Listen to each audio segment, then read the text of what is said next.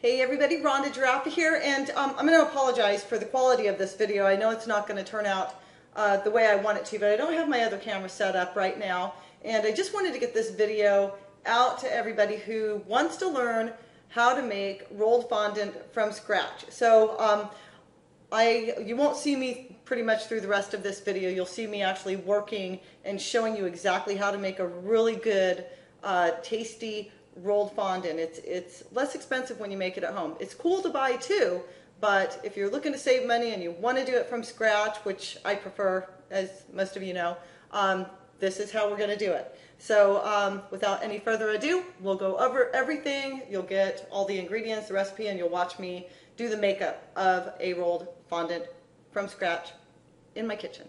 All right, let me uh, shut this down and then we're going to uh, fix everything up.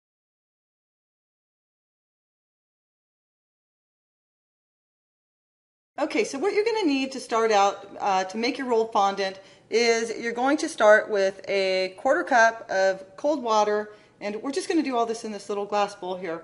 So a quarter cup of cold water, and then you're going to take uh, one tablespoon plus two teaspoons of um, unflavored gelatin, and actually I need a little bit more here, so I'm going to grab some more out.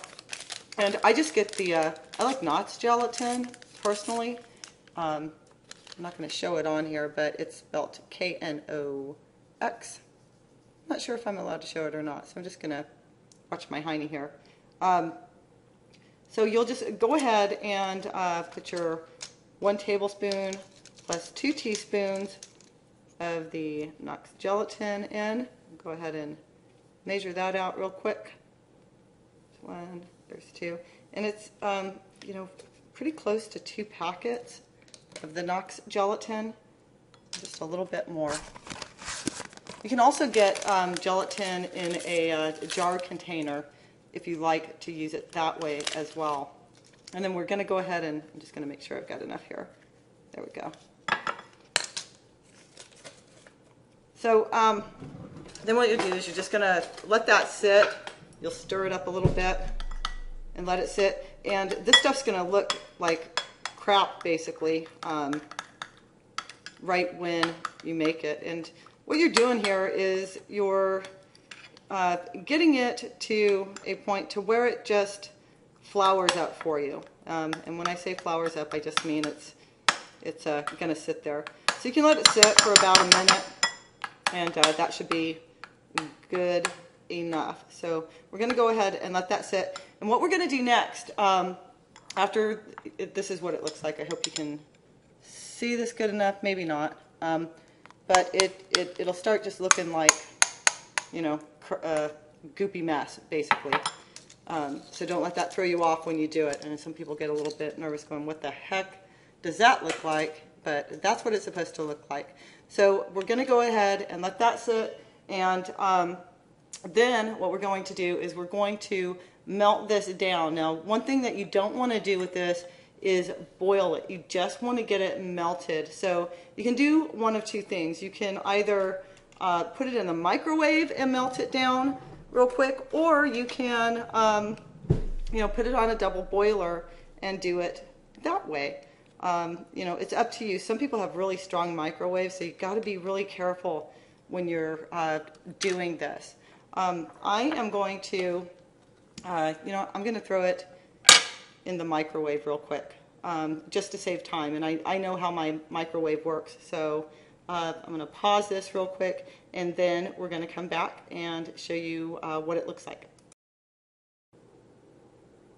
Okay, so now after you've gotten your gelatin uh, uh heated and uh, liquefied, you've got your um, Karo syrup in there um, and you've got your shortening in, Everything's mixed in really good. Now it's going to be um, a little bit uh, cooled down, just mainly lukewarm. And this is when you're going to add a tablespoon of glycerin in.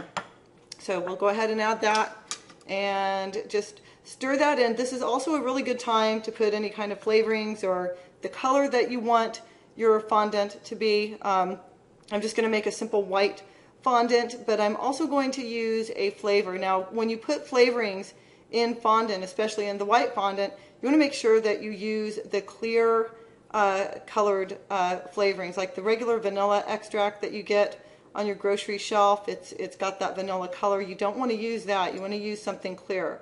For my fondant today, I'm going to use an um, almond flavor and just a little bit of almond flavor. And um, the way I measure stuff out is I just do like maybe a half of a capful, maybe just a few sprinkles of the almond flavor. Almond flavor is a very powerful, very strong flavor. Um, you can also, you know, flavor your fondant a lemon flavor, a butter flavor, any kind of flavor that you want. But uh, definitely be careful with the almond because it is strong. Okay, so now that we've done this, we're going to take four cups of powdered sugar and put it in a bowl and uh, make a little well in the center and then we're going to start mixing all of that uh, in there. Okay, so now I've got uh, four cups of sifted flour and I've put it in a bowl. I'm just going to make a little well in the center of the um, powdered sugar. And now we're going to pour the uh, gelatin just uh, mixture right into the center of this uh, little well here and we're going to start mixing it by hand. You can also do this with a stand mixer, um, but because I know there are a lot of folks out there that do not have a stand mixer, I'm not going to use my stand mixer for this video. I'm just going to, I'm going to do this to where anybody can do this at home. So um, you can see in here, I've just made my little well. And what you'll do is you'll start stirring from the center of that powdered sugar mixture and just kind of keep stirring it until it starts gathering around the gelatin and you will see it as it continues to uh, cling onto it. The other uh, four cups of powdered sugar, we're going to um, use that to start incorporating and thickening up this um, fondant and uh, that's when it starts getting molded all together. So we'll go ahead and continue uh, mixing this in until you've got it, uh, you know, all incorporated together. And then we're going to uh, come back real quick. I'm going to put this on pause for a second so you don't have to watch me uh, doing this. But as you can see, it's uh, already starting to grab. So let me put this on pause and um, then I'll show you the next step. All right? Okay, so now we're just going to uh, pour the rest of this powdered sugar onto a surface. I've got a, a, uh, a, good surface that I'm working on. If you um, are working on a, a table or a um, surface that isn't uh, like a granite or anything like that, just make sure that you uh, uh, wax it down pretty good um, with some shortening. So now we're just going to pour the rest of this out and we're going to start kneading the fondant. And you'll, you'll just keep kneading it, incorporating uh, the extra powdered sugar in. And uh, it gets a little bit messy, but that's how it is from scratch. When you're doing this this way, it's well worth it. Um, when you make the fondant this way that I'm showing you, it doesn't get as sticky on your hands as uh, some of the other recipes that I've seen out there. It'll get a little bit sticky, but you know, not too bad. And uh, if it's if it's too soft, you know, You'll add a little bit more powdered sugar. If it becomes too dry, just put like a drip of water in at a time uh, to soften it back up. Uh, this uh, recipe here should yield you about 32 ounces of fondant, um, or it will, um, you know, uh, cover an 8-inch round cake, one 8-inch round cake comfortably. So we'll just keep going and kneading this, and you can see that it is starting to take pretty good form here. All right, so I'm going to pause this again real quick. Okay, so now we've got our fondant rolled up, and um, it's going to look like this, a nice little ball, and then we're going to go ahead and just put it in some saran wrap. I like that cling wrap stuff. I've been using that lately. Um, it works really well.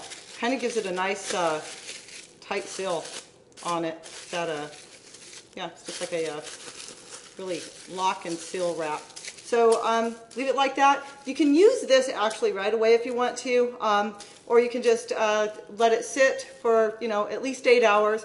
And um, don't refrigerate this. Just keep it in a nice, cool uh, room temperature. Make sure it's, it's cool, not real hot, because it'll fall apart on you a little bit. Um, that's it. So that is how you make your rolled fondant. We'll do another video um, that's not on my laptop real soon and um, get a little bit more high quality for you. I'm working on that. So uh, maybe in the next week or so, I'll have uh, uh, something much better out for you. I just wanted to get this done for you. All right, we will see you on the next video. For more great ideas, visit decoratedcupcakeideas.com.